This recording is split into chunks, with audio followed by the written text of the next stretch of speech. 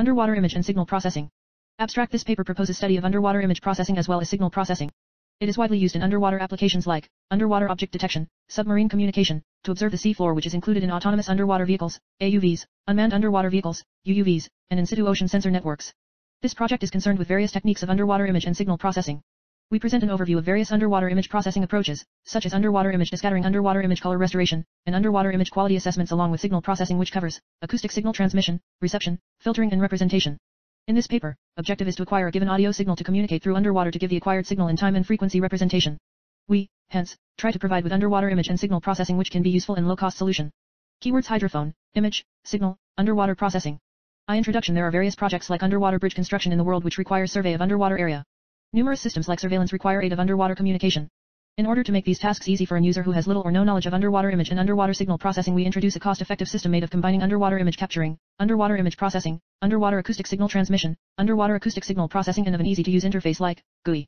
This can simplify the tedious tasks of underwater study and underwater communication. Thus, in acoustic processing, we transmit audio signal and then when the signal is received, it is filtered and then represented as frequency response, magnitude response, etc. For this communication hydrophone is used. Hydrophone is a simple device made of piezoelectric crystal which works as a transmitter and as receiver too. While in image processing we go for image capturing, image restoration, image enhancement and color correction. 2. Methodology. In this paper we have discussed the methods to achieve the underwater image and signal processing. For image processing there are many methods used in practice, out of which image processing using MATLAB is used on a large scale. For underwater images we use an endoscopic camera. Due to this there is no need for external light source with the camera. Once the images are captured they are sent through a GUI for image processing. The GUI uses an algorithm which contains different MATLAB functions for image processing. After processing of images through GUI we get a series of enhanced images from which we can choose the required result. Signal processing on the other hand, is useful for underwater sound detection and various signals that are present underwater. The signal processing takes place using a hydrophone. The hydrophone consists of a piezoelectric element which receives vibrations underwater and converts them into electric signals. These electrical signals will give information about the signals present underwater. We can either use a single hydrophone or an array of hydrophone for receiver. The received signals are processed on MATLAB. We can perform filtering, and try to recover the original signals. We can also take a spectrogram of the signal and study the frequencies present in the signal at different levels. Capturing underwater image by endoscopic camera. An endoscopic camera is basically a little camera along with a long cable which can be used to view tiny areas on a big screen. Creating MATLAB functions for image enhancement and restoration. Image enhancement uses qualitative, subjective criteria to produce a more visually pleasing image and they do not rely on any physical model for the image formation.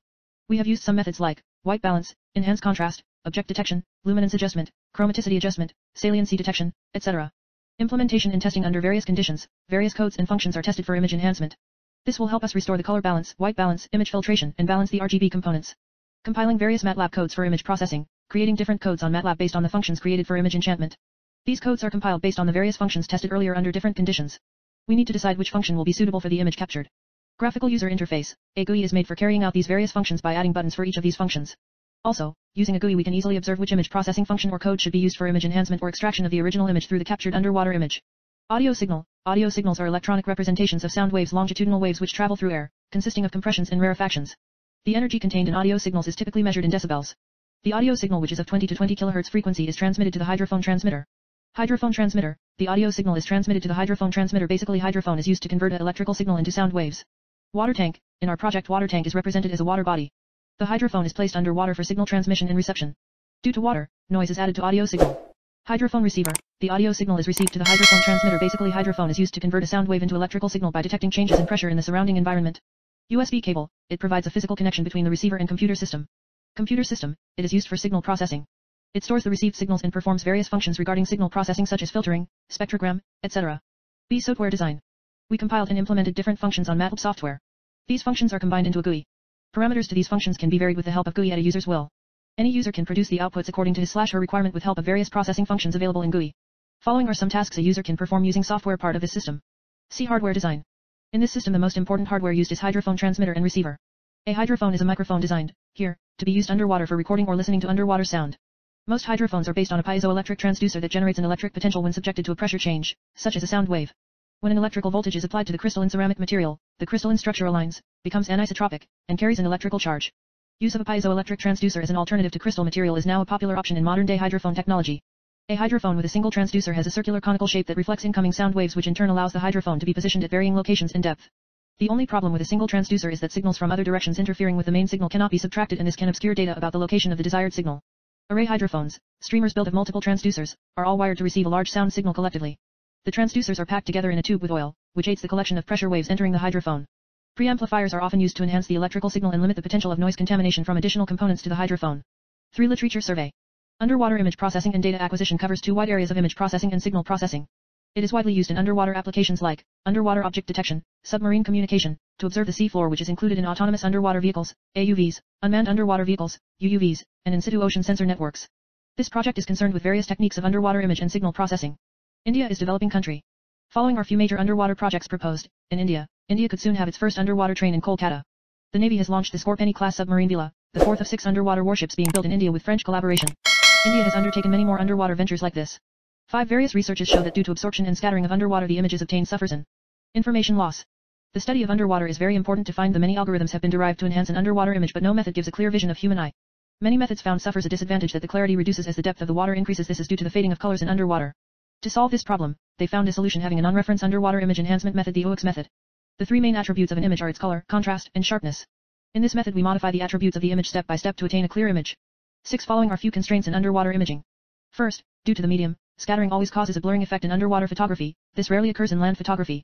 Second, wavelength absorption usually causes a color reduction in the captured images, which rarely occurs in air. Third, except for electronic noise, the sediments in the water also affect high-dimensional imaging. 7. The underwater scenes are captured based on exposure bracketing, which is a technique used to acquire multiple images with different exposure times. The long exposure image is useful for sufficiently acquiring red spectrum information that is particularly attenuated in underwater scenes. In contrast, pixel values in the green and blue channels in the long exposure image will saturate because the green and blue components are unlikely to attenuate compared to the red one.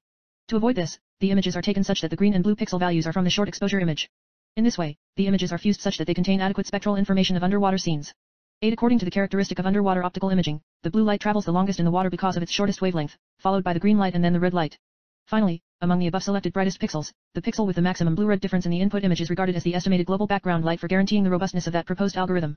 9. However, acoustic signal are affected by ambient noise, consists of man-made noise and natural noise, during transmission and hence, identification and recognition of required signal is equally important.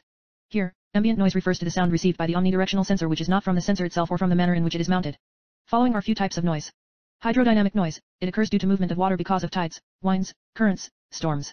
Level of this noise depends on the surface of the sea. Seismic noise, it is caused due to movements of land under or near the sea. Ocean traffic, it is generally sound caused due to shipping. It depends on number of ships in the area having receiver and distance of ships from the receiver. As distance increases, only low frequencies propagate, approximate 200 Hz, and high frequencies are attenuated. Biological noise, it constitutes of animals, distance shipping, rain, wind, bubbles, etc. 10 acoustic sensor data from a single hydrophone. On board a Slocum glider were recorded during the glider's deployment in a mock undersea surveillance mission.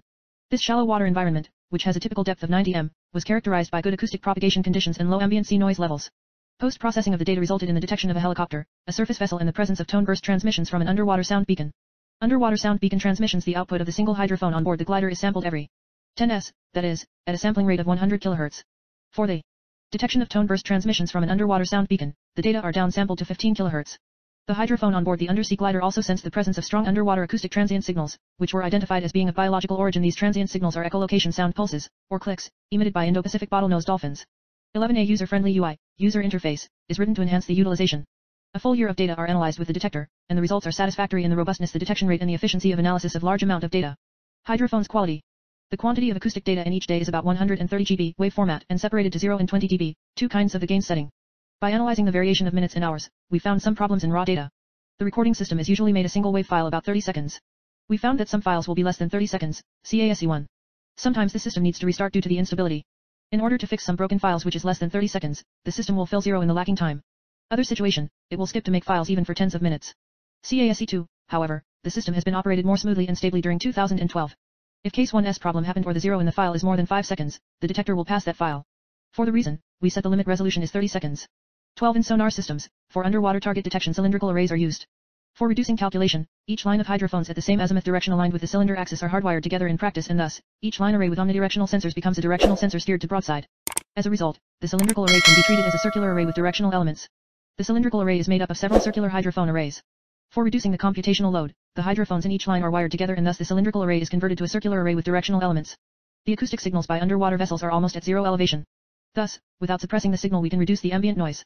Because the hydrophones in each line are hardwired together, the incident angle of the signal is assumed to be horizontal, which means the elevation angle is 0 equals 0 degrees. Then the cylindrical array can be viewed as that of a circular array. 13 Hydrophone is a type of microphone that is used in underwater for recording and also for listening to the underwater sound signals. Generally, hydrophones are based upon the transducer named piezoelectric element that can convert the vibrational effects into an electrical signals. Underwater communications are taking place at a frequency of 10 Hz 1 MHz.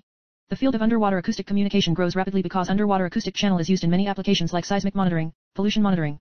14. The received signal, which is emitted from an underwater source, has a multipath time delay caused by the surface slash bottom reflection.